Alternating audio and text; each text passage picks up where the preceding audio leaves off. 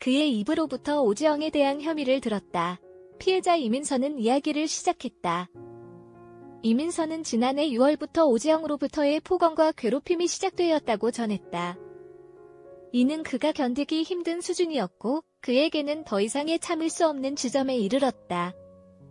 그 결과 그는 9월에는 페퍼 저축은행을 떠나기로 결심했다. 이미지 신청서를 제출한 후 구단 측으로부터 연락이 왔다고 한다. 선수단 내부에서 자체적으로 조사가 진행되었고 이러한 인권 침해 행위가 사실로 확인되었다고 밝혔다. 이민선은 2022에서 2023 시즌 B리그에서 신인급 선수로 활약한 이력이 있다.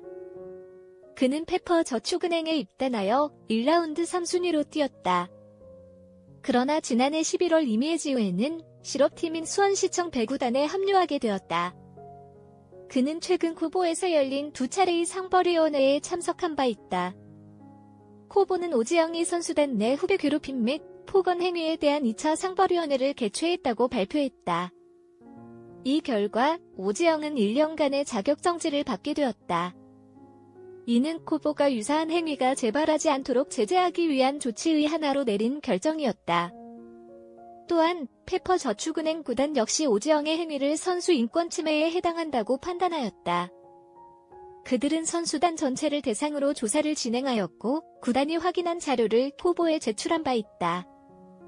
이에 따라 코보의 징계 이후 페퍼저축은행은 오지영과의 계약 해지를 발표하였다. 이민서와 관련하여 이날 코보의 2차 상벌위원회 오지영의 변호인은 취재진에게 경기가 열리는 날에는 선수들이 대기할 것을 당부하는 말을 전달했다.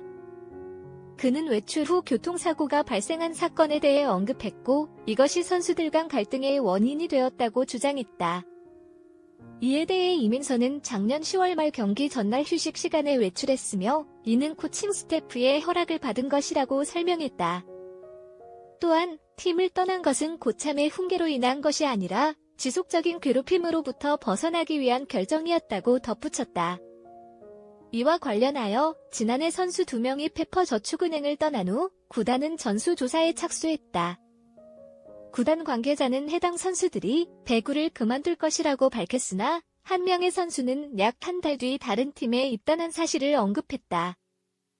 이로 인해 구단은 다른 이유가 있을 것으로 판단하였고 이를 코보에 제출한 바 있다고 전했다. 오지영 측은 소명이 충분히 반영되지 않았다며 재심을 요청할 예정이다.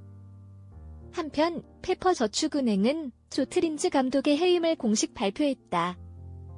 구단은 이를 AI 페퍼스의 쇄신 및 다음 시즌 준비를 위한 결정으로 설명하였으며 차기 감독 선임 전까지 이경수 수석 코치가 대행을 맡게 될 것이라고 밝혔다.